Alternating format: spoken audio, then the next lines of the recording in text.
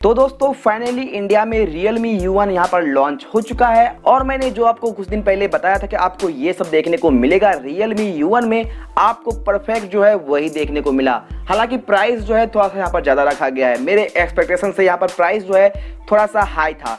अब यहाँ पर बात करेंगे आपको यह फ़ोन में क्या क्या अच्छा देखने को मिल जाता है और क्या क्या आपको अभी भी इस फ़ोन में कमी देखने को मिलता है। और सबसे बड़ी बात, इसको कौन सा फ़ोन किल कर सकता है? जी हाँ पूरी तरीके से किल कर सकता है। अगर आपको जानना है तो आप इस वीडियो को देखते रहिए।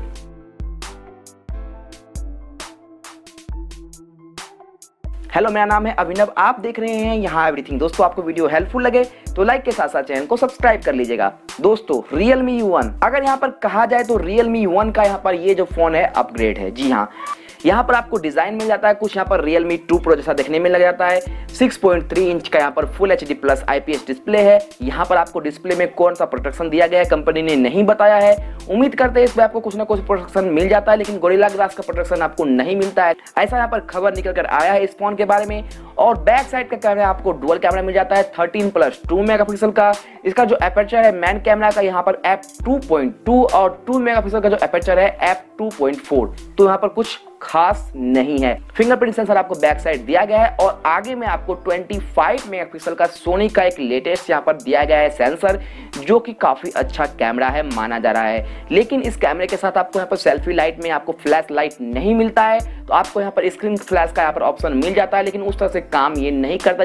जिस तरह से फ्लैश लाइट काम करता है तो आप इस बात का ध्यान रखें। इसमें आपको मिल जाएगा मीडिया टेक का हीलियो पी सेवेंटी जो कि यहाँ पर लेटेस्ट चिपसेट है, और काफ़ी कमाल का परफॉर्मेंस आपको मिल जाएगा, लेकिन स्नैपड्रैगन के 660 से आपको थोड़ा सा कम ही परफॉर्मेंस मिलेगा इस चिपसेट में। जी हाँ दोस्तों, आपको तीन जीबी बत्तीस जीबी मिल जाएगा, चार जीबी चौसठ जीबी मिल जाएगा।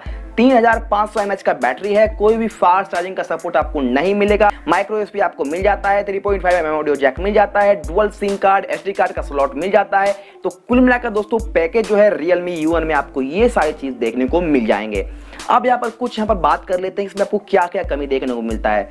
दोस्तों, यहाँ पर पोली कार्बोनेट के साथ बनाया गया है ये फ़ोन लेकिन बहुत लोगों को यहाँ पर फ़ोन जो है दिखने में काफ़ी खूबसूरत लगेगा। आपको क्या ऐसा लगता है? आप नीचे हमें कमेंट बॉक्स में बताइए। तो यहाँ पर बिल्ड क्वालिटी जो है, यहाँ पर इसका डिज़ाइन जो है काफ़ी अच्छा है, लेकिन बिल्ड क्वालिटी जो है, यहाँ पर पोली के साथ बनाया गया है रियलमी वन तो एक यहाँ पर ये मुझे खराब लगा इस फ़ोन में। दूसरा आपको यहाँ पर कहीं भी नोटिफिकेशन लाइट यहाँ पर नहीं मिलता है। और अभी यहाँ पर हर एक लोगों को यहाँ पर नोटिफिकेशन लाइट का ज़रूरत है। रियलमी यहाँ पर टू प्रो में नहीं था तो बहुत सारे लोगों ने कंप्लेन किया था कि इसका यहाँ पर कुछ सॉल्यूशन आना चाहिए। यहाँ पर मैं मान लेता हूँ कि वाटर ड्रॉप नॉच है, लेकिन आप उसमें एक छोटा सा लाइट देख सकते थे। पीछे आपको, नीचे आपको काफ़ी ज़्यादा चिन्ह मिलता है। उसमें भी आप नोटिफिकेशन लाइट दे सकते थे, लेकिन यहाँ पर नोटिफिकेशन लाइट नहीं दिया गया इस फ़ोन के साथ। और यहाँ पर जो बड़ा बात है कि रियर कैमरा थर्ड पॉइंट काफ़ी कमज़ोर है। जी हाँ रियर कैमरा आपको 13 प्लस टू मेगापिक्सल का मिलता है और इस प्राइस रेंज में इसके, इससे ऊपर जो है आपको काफ़ी ज़्यादा अच्छा अच्छा कैमरा वाला फ़ोन मिल जाएगा। तो रियर कैमरे में आपको कॉम्प्रोमाइज़ करना होगा।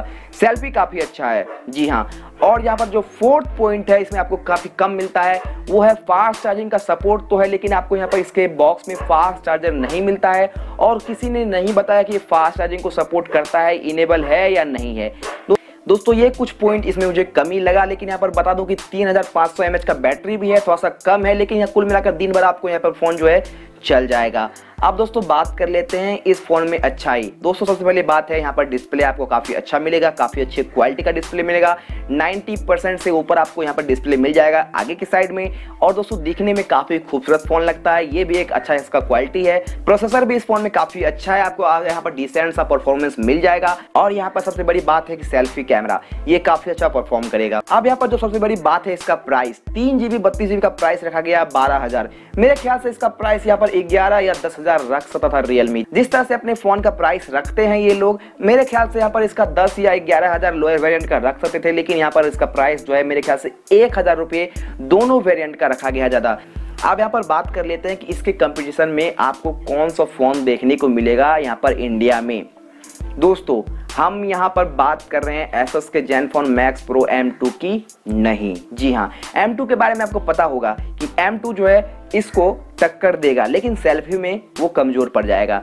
लेकिन इसको हर एक मामले में टक्कर देने के लिए हो सकता है, Xiaomi इंडिया में लॉन्च कर दे अपना एक नया सीरीज़ वाला स्मार्टफ़ोन जहाँ तक मुझे पता चला है। और आपको भी पता चल जाएगा कुछ दिन में ही कि Xiaomi Mi 8 Lite को बहुत जल्दी इंडिया में एक नए सीरीज़ के नाम से लॉन्च करेगा, जहाँ तक मुझे यहाँ पर पता चला है। और इस फ़ोन के बारे में आपको पता ही होगा। तो अगर नहीं पता है तो आप मेरा वीडियो देख सकते हो भाई। क्या कर रहे हो? जाओ, मेरा वीडियो देख लो, मी 8 लाइट के बारे में। आपको हर एक मामले में रियल मी यू से बेटर मिलेगा मी 8 लाइट। और डिज़ाइन तो काफ़ी कमाल का है, बैटरी भी काफ़ी अच्छा है, और परफॉर्मेंस भी आपको काफ़ी ज़्यादा अच्छा मिलने वाला है। सेल्फी भी 24 मेगापिक्सल का है, डिस्प्ले भी काफ़ी गजब का है। तो आप उस फ़ोन का इंतज़ार कर सकते हैं। अगर आपको जल्दी या हरबरी नहीं है तो। अगर आपके पास कोई फ़ोन है तो आप काम चलाइए। इन दोनों फ़ोन का इंतज़ार कीजिए, एसएस का Zenfone, Max Pro M का और मी एट लाइट का।